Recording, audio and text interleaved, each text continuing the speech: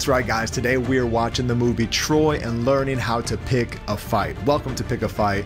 My name is Joe. And if you're into channels uh, that help you as a man grow, well, go ahead and subscribe. And we're going to jump into it because every single week we watch movies on Fridays and we learn principles on how we can fight like a man. So let's watch Troy and learn what are we fighting for. Here we go.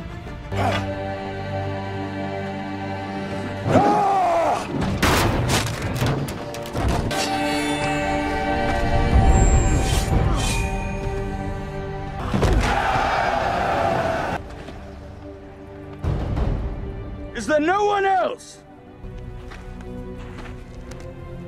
Is there no one else? Okay, so after watching that, something we got to ask ourselves as men is why am I fighting? See, we see that Achilles was fighting for his glory. Right at the end, the pride that swells up, and he says, Is there no one else? Is there no one else? You know, like he's he's putting himself out there. Like I'm the man who wants to try to go at it. But then when we look at the Bible, we see a very similar battle take place, except you have a young shepherd boy taking down a giant. In both instances, we have giants, except in the story of Troy, we have Achilles, who is the greatest warrior. But when we look at the Bible, we have a shepherd boy who comes out with a sling and some stones, and nobody else will fight the giant, but he's like, hey, I'll do it. And here's the reason why. Achilles was fighting for himself, for his glory. He wanted it. When you watch the whole movie, he wants to be remembered for eternity, right? But when you look at David, he wanted God to be glorified. He said, Who is this enemy that he's going to come and he's going to talk smack about my God? Who's going to shut him up? Nobody's going to shut him up. I'm going to shut him up then.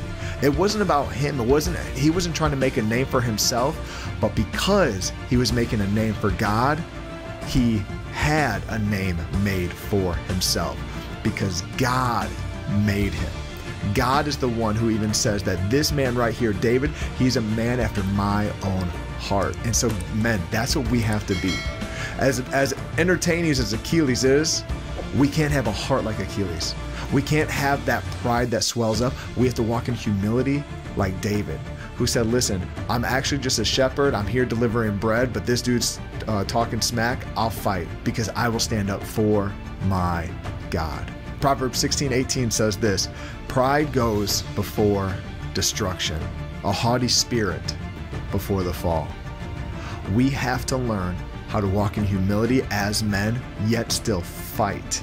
We have to fight against pride and fight for humility and fight for the right things, the things that bring glory to God. See, there's a warrior in all of us men, but there's two types of warriors. There's the warrior that likes to show, and then there's the warrior who likes to serve. What warrior are you? Fight me! You coward! Fight me! We have a pact. Fight! If he doesn't fight, Troy is doomed. The fight is over. The fight is not over. He's my brother.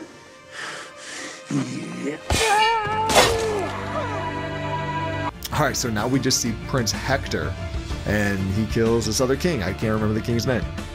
But the question we have to ask ourselves after watching this clip is who do you fight for?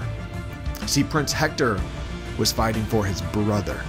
He was saying, listen, even if what I'm about to do is about to cause a war, I will stand up for my brother. I love my brother. And I, I, get what you're saying. Some of you might be like, I don't even have a brother, but you have a brother in Christ. This is what it says in Proverbs 17 17. A friend loves at all times, and a brother is born for a time of adversity. Your brothers in Christ are there for you for a time of adversity. When the enemy is coming against you, they're there to stand with you. You know, we talk about it uh, that it's like your 2 a.m. dude. That dude who can call you at 2 a.m. and know you're going to pick up and you're going to pray for him. You're going to be there for him. When he's slipping, you're not going to beat him down, but you're going to build him up. That's what we saw here with Hector. Hector knew his his brother was wrong. His brother was stealing this other dude's woman. You know, like he did all the things uh, that would that literally, I mean, that was just horrible. But Hector stood up for his brother and said, "He's my brother." Listen, we have to be men that say, "Hey, this is my brother." And I'm going to be doing battle with him. I got his back. You know, it reminds me of uh, the movie clip from um, uh, what's it called, The Town. I'll throw that in here when they talk about, hey, we got to go mess up some people, but I can't tell you who, and you can't answer any questions. Watch this clip. I need your help. I can't tell you what it is. You can never ask me about it later, and we're gonna hurt some people. Whose car are we gonna take? Honestly, I got a buddy that's just like that. And when we watched that movie, he's like, "Hey, that's that's you and me. If anything ever goes down, no questions asked. This is how we roll." And that's what we have to have in the body of Christ. Of like, listen, man, I, I messed up again. I slipped up again. I screwed up again. I sinned again. I did whatever it is again. And your buddy can be like, "Hey, no questions asked. Let's pray. Hey, no questions asked. Let's start taking these steps together to move you, to help you, to be strengthened. Listen, you're my brother, and I will fight the enemy with you."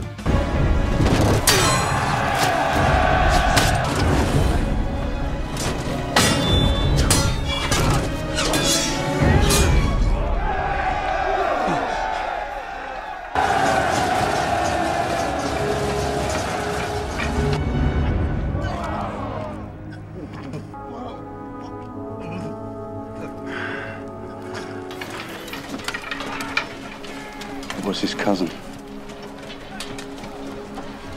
All right, so what we just see here is we have to know who we are fighting. Prince Hector thought he was fighting Achilles. We thought it was going to be a, right like the, the battle of the titans, the two best warriors out there. But Hector actually wasn't fighting Achilles. He was fighting Achilles' cousin. And this is what the Bible says in Ephesians 6:12. It says, "For our struggles are not against flesh and blood, but against the rulers, against the authorities, against the powers of darkness, and against the spiritual forces in the heavenly realms." See, sometimes we think we know who we're fighting. We think we're fighting some dudes, our boss, our wife, our, our kids, right? We fight our kids a lot. Um, a coach. We think we're fighting, you know, the, the people in front of us, but it's actually a spiritual battle.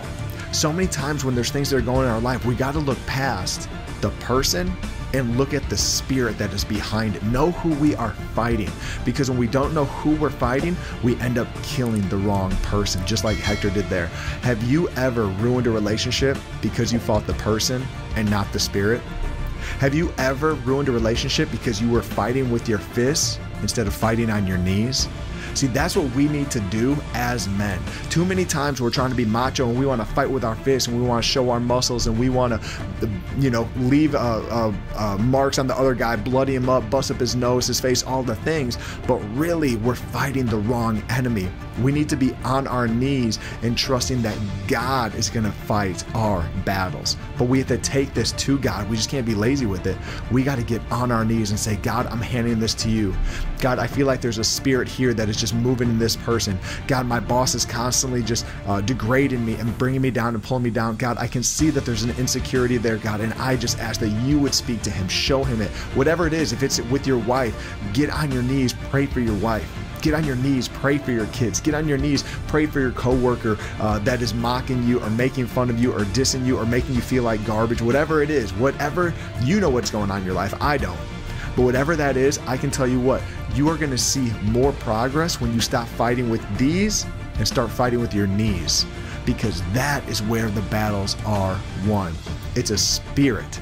It's a it's a fight against spirits, not flesh and blood.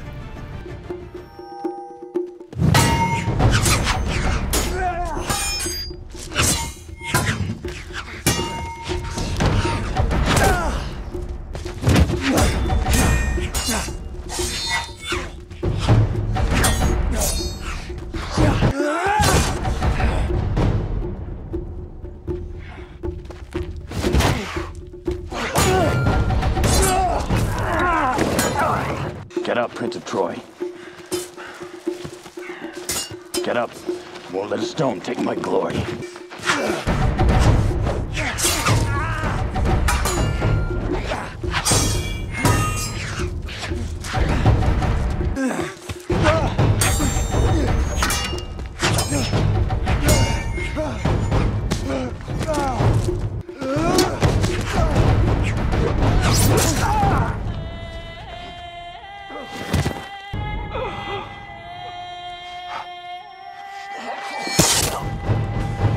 Right, now we see Hector and Achilles. Finally, the fight we've been waiting for, right? The two baddest of bads. And what happens? The question here, the question here is who are you willing to die for? Because Jesus tells us we have to pick up our cross and die daily. Listen, I, there's too many of us as men that we want to fight our spouses when really we're supposed to die to ourselves daily and serve our spouses. Are you willing to die for someone else? Hector was willing to die for his brother. And again, this whole thing started because of his brother. But Hector isn't pointing the finger at his brother. Hector says, I'm willing to be the sacrifice. Are you willing to sacrifice everything for that relationship, for your kids, for your spouse, for your your your uh, your siblings that you have issues with, for your parents, for your boss, like whatever it is, are you willing to have that sacrifice to say, man, I'm gonna fight for this, and I'm willing to die for them. That's a big thing to ask. To say I'm willing to die for them. And something in this uh, this uh, clip that really stood out to me is is when Achilles says this. He says, "I won't let a stone take my glory." And man, as, as we're watching that, what I think of is, holy cow, what Hector did tripping over the stone is what all of us do as we finally come into relationship with Jesus because the Bible talks about how Jesus is the cornerstone. And so Hector literally trips over the stone and falls right? And that's what happens to us. We have to humble ourselves and say, listen, my life isn't about me, it's about the cornerstone. Because when I build my life on the cornerstone, I actually have a life worth living. And it might be a life where I am dying to myself every day, when I'm putting my desires aside, when I'm serving others instead of what I want, whatever it is, but saying, listen, I will, I will give glory to that stone, the cornerstone that is Jesus. So, as we're wrapping up, those four questions to ask yourself why do you fight? Who do you fight for? Who are you fighting? Who will you die for? Those are four questions we need to ask ourselves as we still pick fights. And we want to fight for leadership, for relationships, for spirituality, and we want to fight against lust. And again, if you liked this video, go ahead, click that subscribe button. I do videos like this three times a week where we are going to actually learn how to fight and we're going to be specific and wrap this thing up in 10 minutes or less. Hey, thanks for joining me on Pick a Fight. I'll see you on Monday right here.